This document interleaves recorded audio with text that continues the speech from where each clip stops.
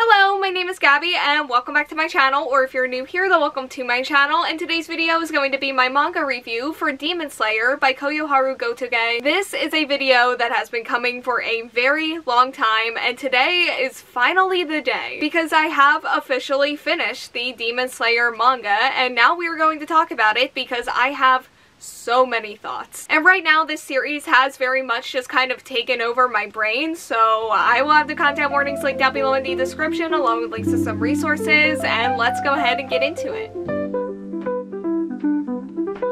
Slayer follows our main character Tanjiro, whose peaceful life is shattered when his entire family is slaughtered by a demon. This is an attack who turns his little sister, who is really the only survivor, into a demon. So he sets out to try to turn his sister back to normal and also avenge his family. I have had quite the journey with this series that originally starts with the anime, and I feel like the easiest way for me to organize this review is to just start the same way that I organized my journal for this series. And that is by the anime and just kind of the way that they separate separated the arcs and the seasons slash movies. So with that, let's go ahead and talk about the beginning arcs, and this is just basically what season one of the anime covered. And honestly, I have been reading this series for a very long time now. It took me two years, I think, almost exactly. And it has been a while since I've read these volumes and chapters, but I do remember just feeling kind of underwhelmed by the beginning of the manga. And I do think that is because the anime is what it is, and I think I was just expecting more from it going into it. These are also just not my favorite arcs from the series, anime, or manga, even though I actually have grown more fond of them now that it's over. So in the beginning, I was just basically driven by my love for a lot of these characters and my desire to get to the content that I haven't read yet or seen yet from the series. And these arcs, they were a nice recap. It was nice to revisit these stories, but they were also just kind of there. And so we go on to Mugen Train, and this was an arc that I really loved in the anime. I cried, I thought about it for weeks afterwards, and it is the arc that really fully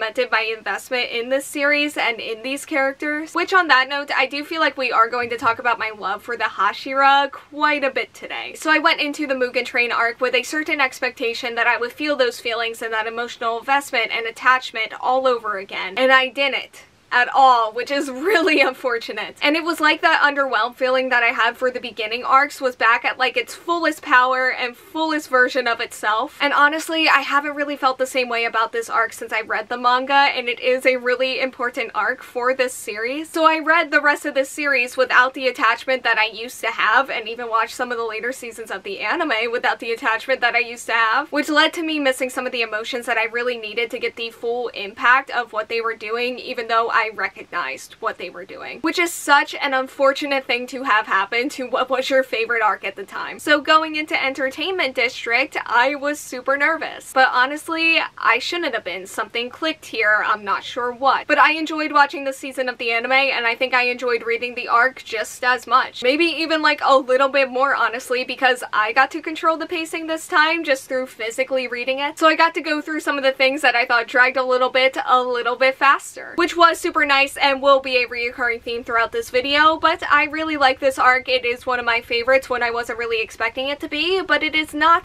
the top favorite. We'll get to that one later. So I actually took a little bit of a break from the manga in between finishing Entertainment District and reading the rest of the series. And at that time, I watched and did not really enjoy the Swordsmith Village arc or the Hashira training arc in the anime. So yeah, I was not really looking forward to reading them, but then I did get into a mood for this series again and I picked the manga back up and I just really wanted to get to Infinity Castle. That was the main goal. So I basically didn't stop reading until it was over. But I am happy to say that Swordsmith Village did go a lot better for me in the manga than it did the anime. And it's like some of the things that didn't work for me in the anime, I liked a lot better in here. And reading this arc was what fully cemented Kanroji for me. It's just like one of my top favorite characters from this series, which we were getting there just based off of the anime anyway. But yeah, this did it for sure. And I do think that I like this arc a lot better because again, I got to control the pacing of it. And even though I say that I did like this arc a lot better in the manga, the fights did still drag a little bit long for me. I still didn't really like the villains that we were fighting. It still kind of felt like we were repeating some of the same things that we did in Entertainment District arc, but it was better and it probably helped that I was just in the mood for this series and I was just able to have fun with this arc and be back with the characters. There was also an emotional moment towards the end of this arc in the anime that I didn't really love that I thought the manga handled a lot better. And yeah, the manga just kind of saved my relationship with this arc for sure. And it also also did save my relationship with the Hashira training arc, thankfully. Because this was an arc that from the beginning of this series, I was so excited to get to. Just because of the title of the arc, and like I said earlier, I really do love the Hashira. But this season of the anime just did not work for me, and while I did really love seeing the characters, it felt like we were wasting a lot of time. But I also didn't realize just how much they added to the anime that wasn't in the manga. But this just flowed for me so much better, and it was like what I wanted from the anime. And that's not to say that this arc didn't have its moments for me in the anime, because it definitely did, but they were also just as good in here. But yeah, I definitely had a lot of fun reading this. It was very short and very quick, but I was still very much ready at this point to just get to the Infinity Castle. And then I realized very quickly that I was not ready for the Infinity Castle, like, at all. I got spoiled very early on in my Demon Slayer watching journey about something that happens in this arc, but even with that warning, I was still not okay, and I still spent like three volumes just shaking and sobbing. But hey, they pulled that emotion out of me, and that's ultimately a good thing. The fights were also really good. I was on the edge of my seat for so many of them the entire time. I cannot wait to see them animated. And it was also just really nice to feel like we had the whole cast here and contributing to the overall storyline in one way or the other. And this is their big final arc, and it felt like everyone really got a chance to shine, and I love that. And I was already feeling super attached to a lot of these characters, and this cemented a lot of things for me in terms of the characters and also a romance that I really love. And the situation that I described before was not the only time that I cried during this arc. I don't know, I feel like this series made a lot of really smart choices in this arc, and I really enjoyed just like the strategy of it all and just seeing like even the little things finally come together, but a lot of things were really coming together. Which is good because it is the ending, and I will say for the ending and for like the final battle, it was going really good, but then we kind of took a turn towards the very end that just kind of felt a little bit dumb to look at. And then we kind of just extended the arc a little bit more, which at the end of the day, I don't really mind, but it did just kind of feel like we were filling time. I also really did not like one of the final chapters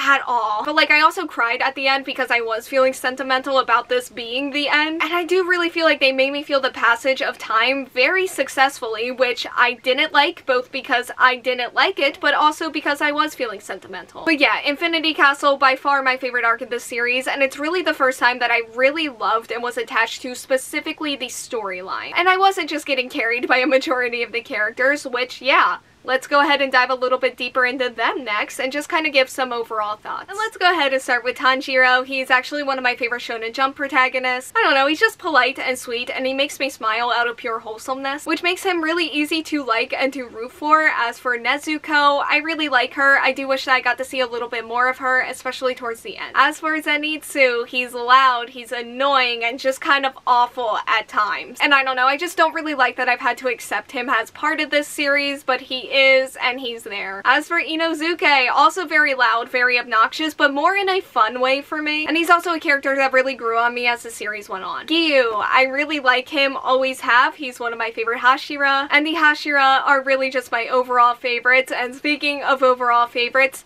Shinobu. When I first started this series, I didn't really get into the show until she showed up. And by that extension, I also do really love Kanao. And I already mentioned Kanroji, but by that extension, I also really do like Iguro. And yeah, if it's not obvious, shout out to all of the Hashira, honestly. I still remember when I first saw them all together in the anime. They're what kept me reading and watching the series in the first place. As for the villains, we have a lot of them. Again, the only time I really feel like the villains actively brought me in this series down was Swordsmith Village. And while I do like getting the backstories of the villains, especially in Infinity Castle, some of them definitely did drag on more than others. And that's mostly just because it did feel really formulaic at a certain point. As for Muzan, he's our big villain and he actually kind of got worse for me as the series kept going. Like I started out interested in him and liking having him as our villain and hating him and reacting to him in the same way that I should be reacting to a villain. But yeah, as the series went on and we got to know him and his motivations better, I, it was fine. I think I just wanted something a little bit more, maybe something a little more complex, maybe a little bit stronger. But again, there are so many other characters that I really love and that I could focus on instead, so it didn't really matter too much. And I do really feel like this series does a really good job at letting you get to know all of the characters, and they do have a lot of characters. And I do feel like this is so important for my overall relationship with this series because, again, they are what kept me watching and reading. And the characters are the reason that this series took over my brain in the first place and why I still think about them a lot. As for some other things, I really did like the art style. I do prefer the action scenes in the anime. They were just a little bit harder for me to follow in the manga. I also did really like a lot of the comedy, not all of it, but a lot of it. I do think this series has a really nice charm to it. And again, a lot of that is the characters and their personalities and just relationships and dynamics with one another. And there are just a lot of really amazing relationships that have developed in this series, and you can really tell just how much that they care about one another. And even though I didn't love everything about this series, I can say that I left this series with a really nice love for it overall, which I don't think I could say that before reading the manga, and maybe I would have gotten here anyway just through the anime alone. But based on how I feel about some of the choices that this series made towards like the very end of the series,